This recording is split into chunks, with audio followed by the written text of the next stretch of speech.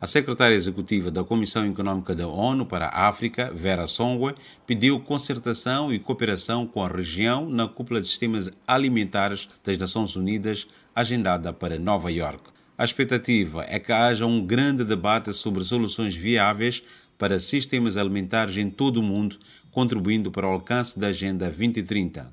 A estratégia global destaca 17 Objetivos do Desenvolvimento Sustentável ODS países africanos querem uma participação à cúpula dos sistemas alimentares que resulte na mobilização de apoio para implementar prioridades da Agenda 2063 de Desenvolvimento da região africana. Espera-se que a reunião possa apoiar uma África próspera baseada no crescimento inclusivo e desenvolvimento sustentável. Para a representante da ECA, a segurança alimentar exige investimento em pesquisa para melhorar a produção, especialmente de alimentos nutritivos. Outra meta regional é promover tecnologias modernas, a digitalização e a mecanização.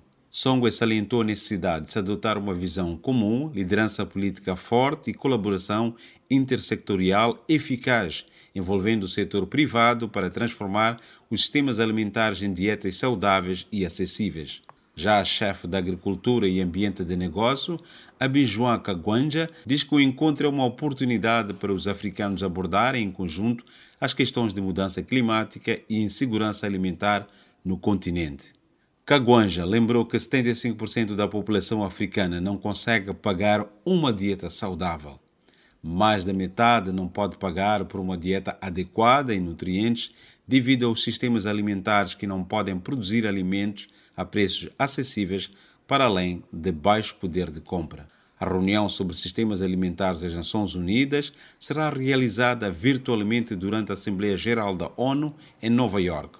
A agenda inclui uma declaração de ação do secretário-geral. De Maputo para ONU News, ou Reporter.